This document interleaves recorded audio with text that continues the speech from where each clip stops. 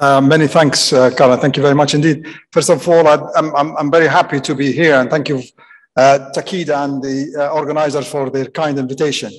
Um, over the next 20, 25 minutes, I'm going to talk about a very, very important uh, topic, and that is um, hereditary angioedema. And specifically, I'm going to talk about the prevention of attacks using uh, long-term prophylaxis. So um, the main objectives of, of, my talk today was to increase the awareness of HAE, an uncommon and potentially fatal disease, and get, you know for you to gain some expert knowledge on the uh, investigations and the available therapeutic options uh, that are currently being made uh, available to us. So um, what I'm going to talk about today is I'm going to give you some basic concept about the disease. I'm going to talk about the diagnosis, treatment options, and, introduced Takhzyro or lanadelumab, which actually had, uh, it's a game changer in, in the treatment of patients with HAE. And then I'm going to finish with uh, sharing with you a case that we've been looking after for some time at this point in time. So what is hereditary angioedema? Hereditary angioedema is a life-threatening um, disorder caused by um, C1 inhibitor deficiency. Um, it's an autosomal dominant uh, disease and it is characterized by recurrent episodes uh, of cutaneous and mucous, uh, mucous membrane swelling. So this is the sort of a, in a nutshell what uh, hereditary angioedema is. Now, uh, the epidemiology, this is very interesting. This is um, um, basically, we don't have data regionally, and I'm going to talk about this on my next slide. But in general, the estimated prevalence of this condition is about 1 in 50,000. Uh, but I think it's, it's, it's higher than that. I think it's higher than this because of the delays and misdiagnosis. So uh, really, um, it, you know, we don't really know uh, the, the, prevalence of this condition. For example, in the States, there are about 8,000 individuals suffering from this condition. In Europe, about 15,000. Um, worldwide, there is about 200,000 patients. But I think um, because of the delayed diagnosis, because of the, you know, people are unaware of this uh, rare, um, I, sh I, shouldn't be saying rare, it's actually an uncommon disease. Uh, the, the, the prevalence isn't really very accurate. So in our region, for example, uh, the MENA region, um, which includes about 22 countries, um, covering nearly 15 million square kilometers from Morocco to Iran, and we account for about 6% of the total world population, and the population, of course, uh, mix of Arab, Persian, Turks, etc. That's, you know, that's what we have. We have about 300, 3 to 400 patients with hereditary angioedema. That's what we know about, maximum 500.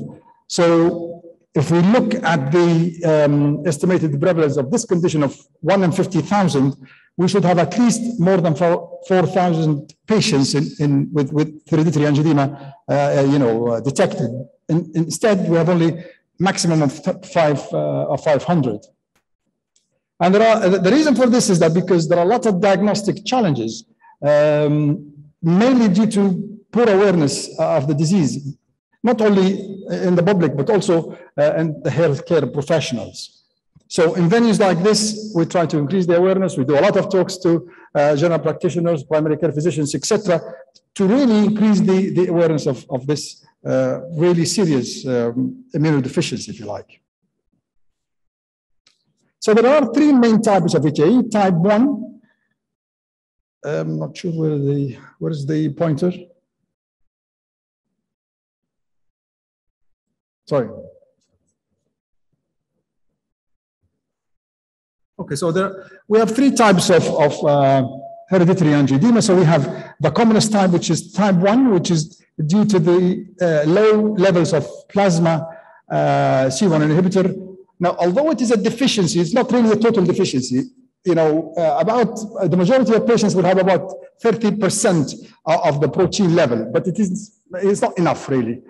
Uh, so it's not total total deficiency, uh, but the, the levels are low.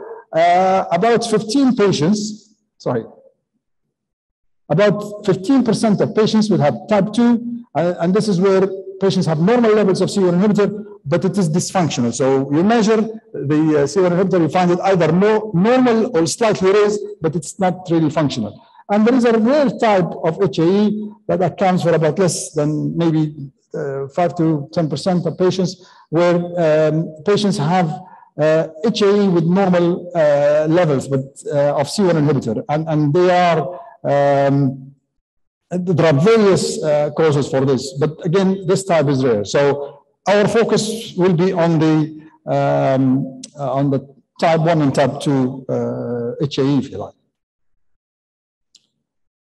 Now, the pathophysiology of this disease, uh, we have this C1 inhibitor, which is a really a, an enzyme that uh, it's a it's a key mediator uh, of inflammation that it, it inhibits plasma um, kallikrein levels. And um, within the kallikrein uh, kinin pathway, when it is deficient uh, or lack, uh, the, the, or the, the function is lacking, uh, the protein results in uncontrolled kallikrein activity, leading to increased generation of active uh, mediators, including bradykinin, and that leads to the swelling. Now, the um, C1 inhibitor also is very important in the, the uh, coagulation pathway as well. What are the main triggers of HAE attacks? The common, the many, many attacks uh, occur without any clear trigger. So patients develop uh, these swellings, um, you know, without a specific trigger. However, there are three uh, common um, factors that are really important um, for triggering, triggering um, uh, swellings in these patients. So minor trauma, emotional stress, and airway infection. These are the most identified uh, causes or triggers for um, HAE attacks or swelling attacks uh, in these uh, patients. Now, the commonest, um, the, the, for two, for, as I said, the, uh, I'm going to concentrate only on type 1 and type 2 um, HAE here. The attacks are similar. The swellings, that you can't clinically differentiate between the two um, types uh, because they have identical uh, clinical characteristics. Uh, the angioedema attacks vary in location, frequency, and severity. Most Common um, places would be uh, face, abdomen, urogenital area, and extremities. Um, laryngeal attacks, fatal, serious, but they are not very common. Um, about 50% of patients will have more than one laryngeal attack in their lifetime. So it's not very common. And in fact, in my clinical experience, I've looked after about 70 patients with HAE. Really, laryngeal attacks are not very common, but they do uh, occur and, and they're really serious. Um, so this is just an example of uh, such attacks. So this is uh, you know, this is a, this is this is a patient with abdominal attacks. There is an abdominal distension, as you can see. This is the disfigurement of the face. Patients really are, are troubled with their um, uh, swelling when uh, attacks the, the, the, face because that's the thing that you can see, and they, it's really very embarrassing, embarrassing and actually cause a lot of anxiety and, and stress to the patients, of course. And then the peripheral attacks will, will most patients get, and they tend to ignore. They, uh, when you talk to these patients about their swelling, say, yes, doctor, I get uh, you know peripheral swelling every every now and then. I, I, they don't bother me. They last for a few days, and, and I'm, I'm, I'm okay then after that. But they, the, the ones that are really serious are the one the abdominal attacks and the the uh, facial attacks, and of course the laryngeal attacks. Now, the clinical course of the swellings is really very important, and that differentiates um, these types of swelling from the uh, from the um, allergic swellings, for example. Sim here in HAE, symptoms typically worsen over the first 24 hours and subside over three days. So they start, it's a slowly developing process. So the patients will have the swelling, uh, you know, uh, here, for example, and it takes up to five days you know, it peaks around the third or, or the second or third day and slowly regress. Now, even without treatment, uh, and I'm talking here about most of the attacks, I'm talking, about the peripheral swelling in particular, where uh, patients, uh, you know, they say, look, I, I, don't bother even going to the emergency or, you know, I'll, I'll let, let, I'll let it wait and disappear spontaneously.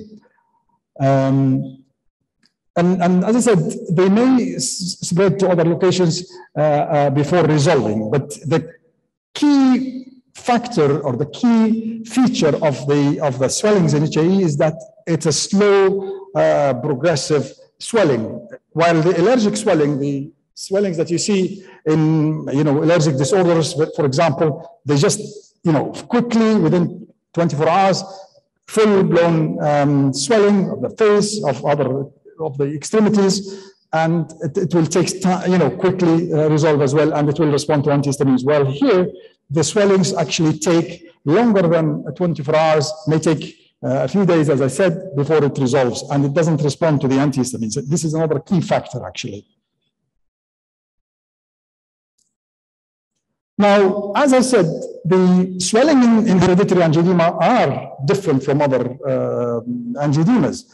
Um, as I said, one of the key factors here is, is the longer uh, attack duration up to five days. Uh, absence of urticaria, there's no urticaria. Usually there's swelling, there's soft tissue swelling.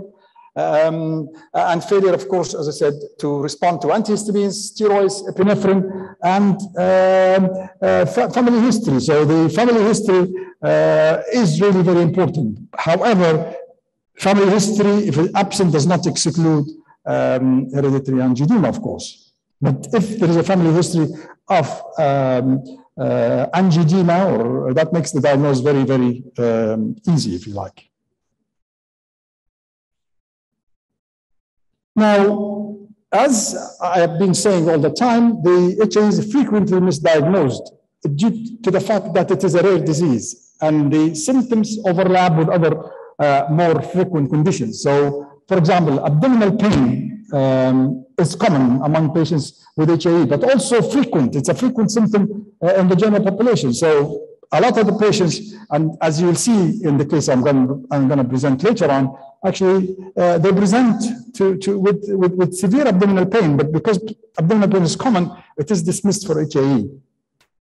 Of course, um, misdiagnosis can result in, in MS3 treatment. I had patients who had laparotomies, uh, you know, multiple uh, scans, multiple, you know, procedures.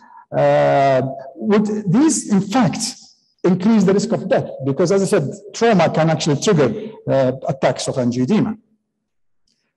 Now, um, misdiagnosis is more common if there is no family history. So, family history will make the diagnosis very easy, if you like.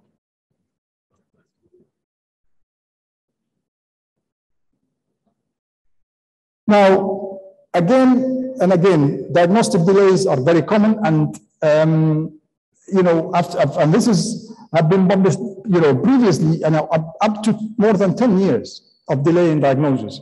We have patients, have patients who've been the diagnosis delayed uh, for about seven or eight years. So again, because of the uh, reasons that I've mentioned earlier. Now, here we have a sort of a, um, you know, a, a, simple way of diagnosing patients with HAE. So uh, the definitive diagnosis of uh, type 1 and type 2 requires the measurement of antigenic and functional uh, C1 inhibitor and C4. So for example, um, if, if, the, um, if a patient with, sorry,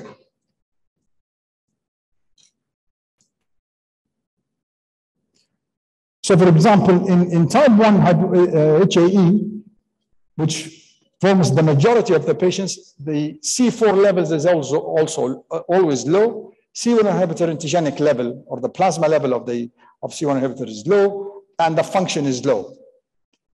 The other, uh, for example, the type 2, the, which forms about 15%, as I said earlier, C4 is low. Um, the antigenic uh, C1 inhibitor is either normal or slightly raised, but the function is low.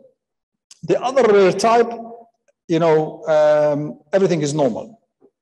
So C4, sometimes the, for example, the um, C1 inhibitor level or function are not available in, all, in most labs. So this is a good way. Measuring only C4 can usually, um, you know, hint that diagnosis if there is a history suggestive of HAE.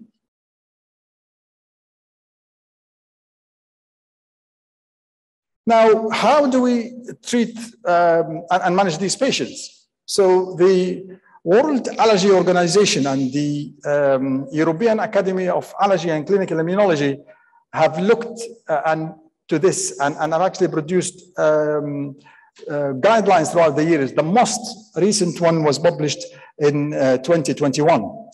And the aim of these guidelines is to um, assist a clinician and their patients in making and addressing the uh, issue related to the um, to uh, HAE. Now, the current guidelines contains 28 recommendations, um, eight more than the ones produced in 2017.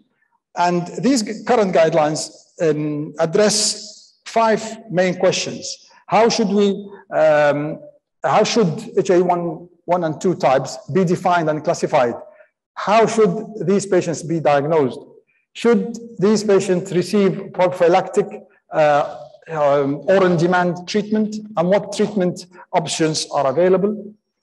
Should these patients manage dire directly in especially uh, patient groups or uh, hospital setting? Uh, what do we do with pregnant lactating uh, women and children? Should um, uh, patients um, incorporate, you know, self-administration of therapies and patient support uh, measures. So these are the, the five pillars, if you like, uh, that was put um, by the WAO and the EAACI trying to address the management of HAE patients. What I'm going to do in the next uh, number of slides is go through uh, these uh, um, points um, briefly so you know what we are talking about. So uh, the guidelines for um, diagnosing these patients recommend that all patients suspected uh, to have uh, HAE are assessed for blood levels of C1 inhibitor function, C1 inhibitor protein levels, and C4. So the three main uh, components need to be uh, checked. Testing for C1 inhibitor function, protein, and C4 is repeated. We should repeat these tests to make sure that the patient has the correct diagnosis. And to, because, you know, once, um, you know, uh, is not really enough. So we have to really repeat um, uh, these, these tests, okay? Now we have to assess these patients and you know, assess their, you know, if there is a family history, and sort of symptoms, uh, recurrent and painful abdominal symptoms, occurrence of upper airway edema, uh, failure to respond uh, to antihistamine, steroids, and epinephrine, presence of prodromal signs and symptoms before the swellings, and absence of urticaria. So patients that you know should be assessed based on these uh, parameters, and the uh, um, complement test should be performed. The three main complement uh, tests that are important here. Now, the recommendation for patients with, um, uh, you know, um, type 1 and 2, again, patients who are suspected to have HAE and have normal C1 inhibitor levels and function are assessed for known mutation underlying uh, HAE1 inhibitor. So we can now we have the, this is and this is a new recommendation. So we actually can now send blood samples to check for the various genes that I've mentioned in earlier in earlier slides. Now, again, in terms of, of recommendation for on-demand treatment uh, for, for these patients, all attacks should be considered for on-demand treatment. So regardless of, of uh, whether it's type 1, 2, or 3, they all should be considered for on-demand treatment. Any attack affecting or potentially affecting upper airway should be treated. There's no doubt about that. As, attacks should be treated as early as possible and the HA attack should be treated either with icatibant, which is a bradykinin uh, receptor antagonist, or ecallantide, or intravenous C1 inhibitor. Now, uh, intubation or surgical um, airway intervention should be considered early in the process of upper, uh, should be assessed. These patients need to be assessed for, um, uh, you know, when they are undergoing these procedures should be assessed for progressive upper and uh, airway edema because that can be fatal because a trauma, trauma, as I said to you, can actually trigger attacks. Again, on-demand treatment should uh, should be given to all patients, um, um, you know, uh, and, and, these patients should be should have a sufficient medication for on-demand treatment all the time to treat attacks. Um, uh, you know, so they should have their treatment available to them uh, all the time.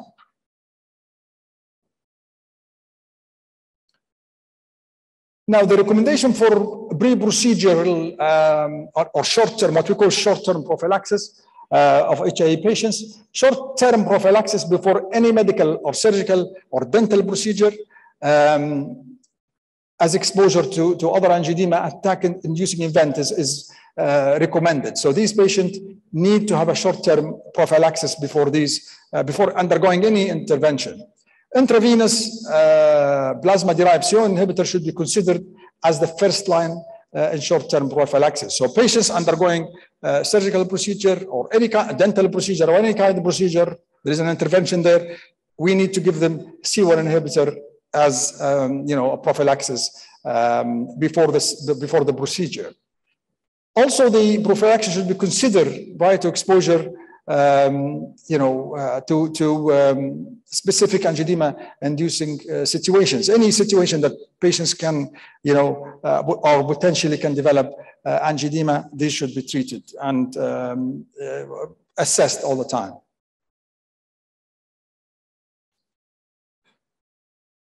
Now, long-term prophylaxis, um, the goal of, of long-term prophylaxis is to achieve total control of the disease and to make patients lead a normal life. So this is the aim. Now, patient, all patients should be evaluated for long-term prophylaxis at every visit. We need to assess the frequency of the system of symptoms, the severity, the frequency, etc., and to assess the disease burden as well. So uh, all patients need uh, to have regular assessment to assess whether they need long-term therapy or not. Now, the use of um, plasma-derived C1 inhibitor is recommended first-line long-term prophylaxis. The problem with plasma-derived uh, C1 inhibitor is the lack of availability or short, uh, you know, uh, supply, basically. And we had this problem um, some time ago where we, we weren't able to, to actually find or res resource or source um, the C1 inhibitor. So we're left in a situation where you know, we, we, we, we used um, basically treatment that um, uh, are not really very effective. Uh, so we cannot rely on plasma-derived C1 inhibitor because of uh, various reasons. One of them is short supply. The other one is it's a, is a blood product. So you don't want to expose your patients to a blood uh, product unnecessarily.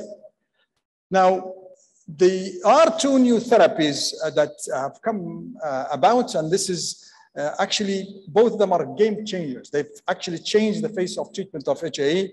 One of them is lanadelumab uh, and uh, the berotralstat. And um, again, they're now recommended as the um, first um, line um, long-term prophylaxis. So um, and, and, both of them, uh, both these medications are currently available um, in the UAE. Uh, Lanadelumab, we have a number of patients on it, and currently we have one patient on Berotralstat, which was recently introduced into the country. Now, um, long-term prophylaxis as well, androgen should, should only be used as a second line uh, um, second line long-term prophylaxis. Androgen, we're talking about synthetic androgens here, like danazol. Danazol has lots of issues, um, and, and really we don't like using it, but it is very effective, and it is the treatment of choice uh, in the past in these patients. All patients who are using long-term prophylaxis routinely should be monitored for disease activity, impact, and control uh, to inform uh, and to optimize their treatment uh, dosage and, and outcome. So again, as I said, these patients require um, long-term monitoring and follow-up.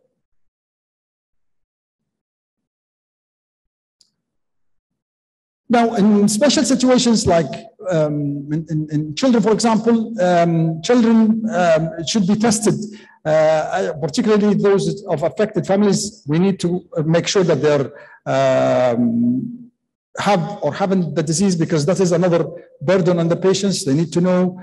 We need to intervene early and prevent delayed diagnosis. So children need to be uh, screened for HAE, particularly if there is a family history. The use of um, C1 inhibitor and icatibant is recommended for treatment of attacks in children under the age of, of, of, uh, of 12. Now, in pregnancy, we prefer or we recommend um, the C1 inhibitor um, because it is the safest and, and it's, it's, really the treatment of choice uh, in pregnancy and lactation.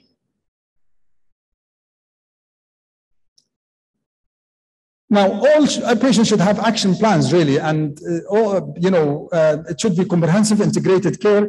Uh, you should uh, be treated in a specialist uh, with a specialist expertise in managing HAE. So, these patients should be treated um, by really an immunologist or a, or a, dermatologist or infectious disease with experience uh, in treating patients with HAE.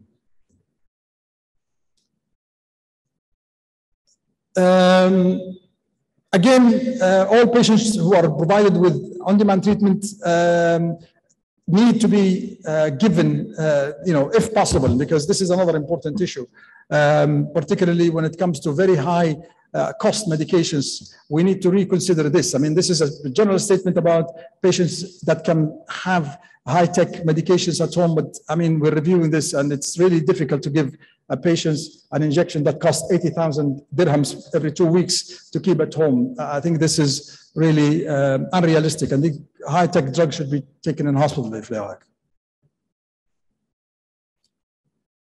Now, over the next uh, few minutes, uh, we're going to talk about the um, Takhzyro, which actually a game changer uh, in the management of um, hereditary angioedema. This is the first uh, subcutaneous monoclonal antibody used in long-term prophylaxis for HAE.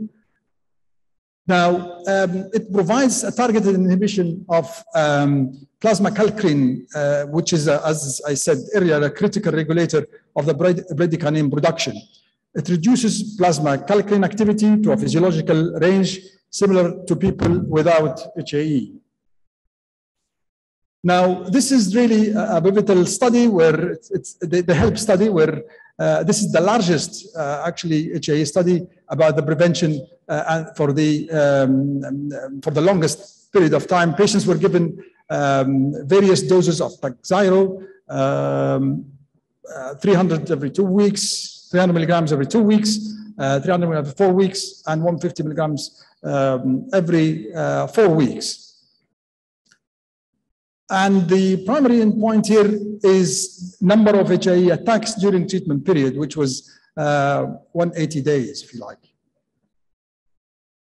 And again, here, if you look at this, uh, these uh, uh graphs, you'll see that the uh, really 80 um, 87% of patients had a, a relative uh, reduction in the number of HAE attacks um, on the on Takhzyro for the treatment period. Not only that, but the um, moderate to severe attacks were, were also reduced significantly. Now, um, this is another important um, uh, finding where the uh, an increased number of patients had zero attacks. So about 44% had zero attacks, the, um, which is really very, very important. And the sensitivity analysis uh, showed that the percentage of patients with zero attacks actually between days 70 180 was 77%. So overall, many patients had zero attacks on Takhzyro. Nearly eight out of 10 patients had, had zero attacks uh, for the next uh, four months of treatment. I'll, I'll skip this slide for the sake of time. So the, this treatment is very safe. We have um, in real, uh, real world evidence, uh, we have about 12 patients on this treatment and there are, there are no side effects basically. And um, the side effects that are most frequent um, are, you know, very common, which is injection site reaction. That's what you expect. uh, other um, uh, reactions or adverse effects are not really very common. So it is a very effective, efficacious, and safe therapy.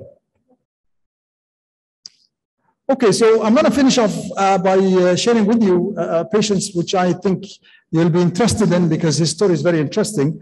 And um, that this patient is uh, Ali. We'll call him Ali. He's a 27 uh, Emirati uh, pleasant young man. Um, between September 2015 to September 2016, he attended uh, our clinic, Cleveland Clinic Abu Dhabi, which is a tertiary center.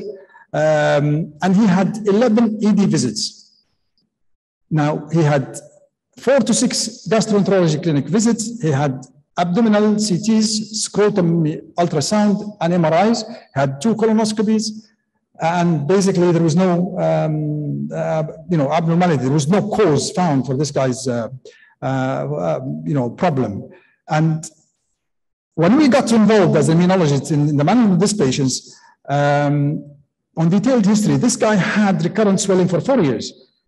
These swellings affect um, his skin um, particularly, but his abdomen was the most uh, problematic symptom. Uh, and he had attended almost all Abu Dhabi hospitals between private and, and public. And he had had several colonoscopies, endoscopies, scans, laparoscopies, etc. He had, then this is the interesting bit. So his presentation was, was, was uh, so 27, so he's presented with this condition at the age of 23 years, and, and his family history was negative. Um, so this is, uh, these are his um, investigations, and as you can see here, he had significantly reduced C4, significantly reduced C1 inhibitor function, C1 inhibitor uh, protein level, which was above the normal range. So um, other investigations are normal. So this guy has um, hereditary angioedema.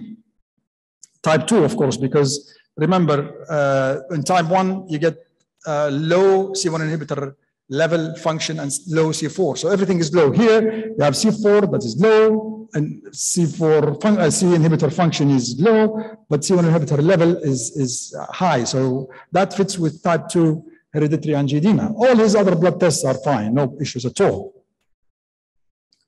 So this is his um, uh, colonoscopy, and as you can see, there is diffuse uh, colonic mucosal swelling, and there's no inflammation. Though this is really very nice, glossy, uh, uh you know, colonic mucosa with no evidence of actual inflammatory uh, process there. So, uh, as I said, so this guy has hereditary angioedema type 2. We've treated him with tranexamic acid, um, which we went up to uh, four to six grams daily, which is really quite a high dose for two months, but there's no effect. We put him on danazol, a synthetic androgen, 100 milligrams twice daily. It was somewhat effective. He still had minor swellings, but you know better than he uh, has had before. Now this guy denied that he has this condition. He denied it completely, and he said, "Look, it can't be me, someone else. This is not me. So there was challenges with this guy. So one of them is, as I said, how to convince him that this is a chronic illness, life-threatening, serious problem that he needs treatment for. And he was poor compliant. This guy is a very active man, a policeman, and you know, he's a, uh, you know, he's a, a biker, and you know, he enjoys life, etc. So he didn't care about the treatment, and that's why he was brought to uh, ED frequently, even when he was diagnosed and put on danazol, but he didn't comply with his treatment and kept coming to ED. And of course, we need to think about treatment costs, etc. We actually managed to get uh, lanadelumab or, or uh, and we started him on this treatment um, every four weeks. However, we instructed him to, because of the cost, we've instructed him to come or to contact the clinic uh, after two weeks. Now, the recommendation uh, for Takhzyro is to use it 300 milligrams subcutaneously every two weeks. But because of the cost, we said, okay, let's try four weekly and then see what happens. So we have asked him to contact the clinic every two weeks. And if he didn't ring, we will um, I will ask one of the nurses to actually follow up with him. And he did extremely well. He did, on this medication, did extremely uh, well. Uh, so he's done extremely well on four weekly treatment, has had had a bariatric surgery, and we needed to cover him with C1 inhibitor before the surgery. He remains swelling free for the treatment period, which is extended. Now the treatment is extended to six weeks. He tried to come, uh, you know, uh, he said, look, doctor, I'm, I'm well. I don't want to come to the hospital. Let's try and get the treatment every six weeks. So I agreed. I said, look, if, if it comes back early, come. And of course, there were no issues with, with Takhzyro at all. Now, if you're interested in this case study, it's already in the literature. You can, it's published, so you can, um, you know, Google my, you know, PubMed my name, and it'll, it'll, come up. And it's really very interesting uh, to go through it in the detail. Okay, so this is my uh, final slide. So in summary, HAE is an uncommon disease characterized by recurrent uh, episodes of swelling affecting different parts of the body. Uh, it's frequently underdiagnosed, most of the time misdiagnosed. So think of HAE, please, uh, in someone with recurrent unexplained abdominal pain. This is really the key here. Swelling attacks are uh, substantially impact patient quality of life.